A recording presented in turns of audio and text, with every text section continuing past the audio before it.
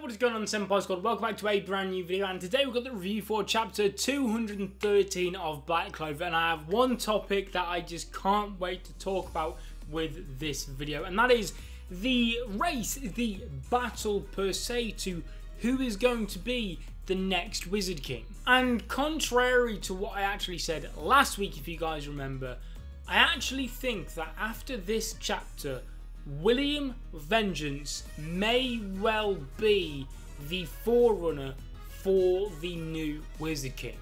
And like I said last week, I personally don't think that he should become the next Wizard King. And as you can see from Twitter, uh, follow me on there if you're not already. Links in the description down below. But you guys don't think he should be either.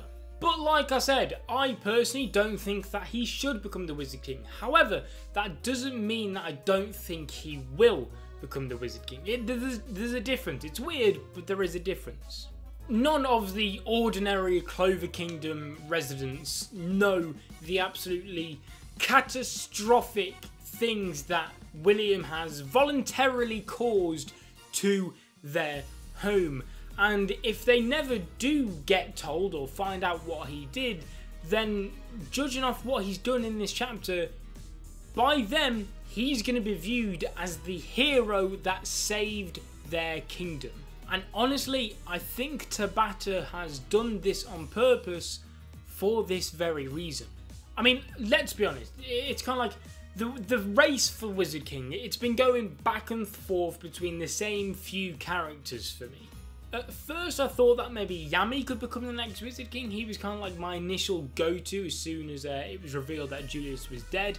But on second thought, as the series carried on, I just kind of thought to myself, does Yami fit the mold as Wizard King? Is it something I personally can picture him being? Not really.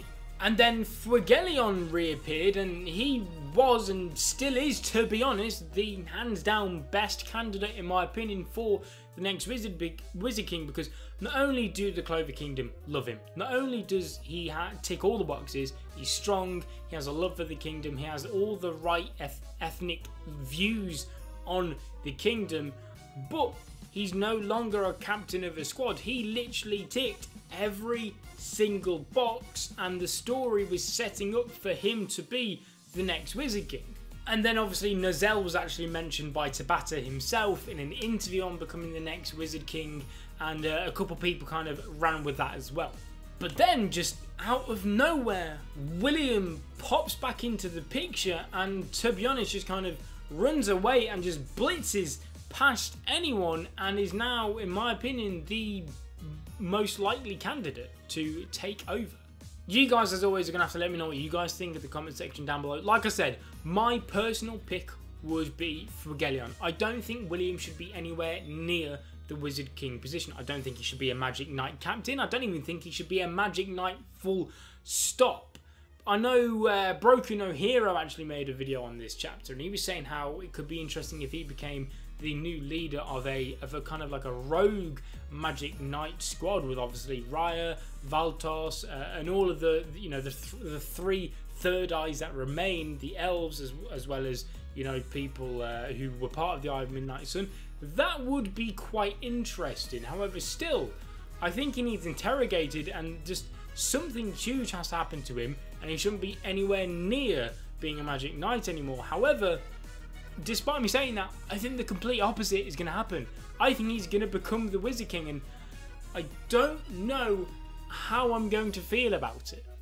But anyway, enough of that. Less of the more serious talk in the chapter. I want to quickly come to something that I personally found quite funny, and I wanted to know if you guys picked up on it as well. And that was the fact that either Tabata one of his assistants or the editor himself. Definitely the editor because he's one that allowed this to slip through. But did you notice the art mistake with Licht in this chapter? For some reason whatsoever, he was drawn with a dark elf eye. Now, obviously, Patri's supposed to have that eye, but for whatever reason, it was Licht in this chapter. A bit odd, clearly a mistake. It's going to be interesting to see how, whether or not that's rectified for the release of the volume that includes this chapter.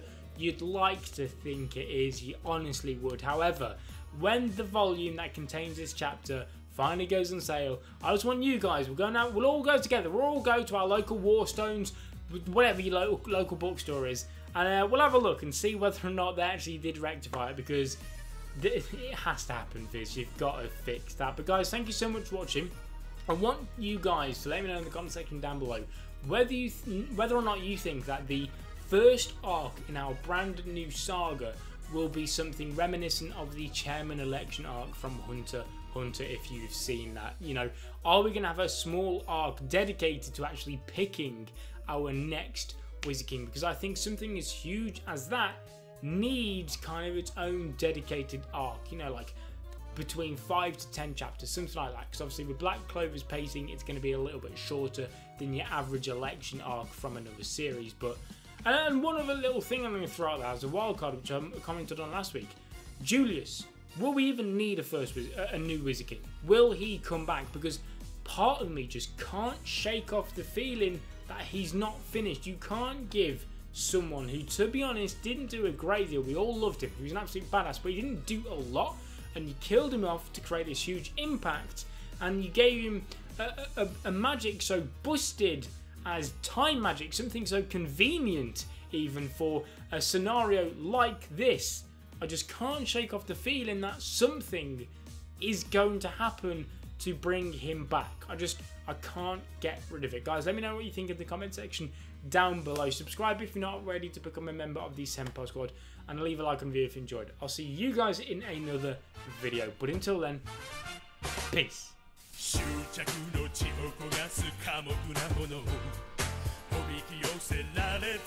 神々の化身恐れを知らぬ剣が貫く目指す場所とはまだ見ぬ定め近づいてくる決戦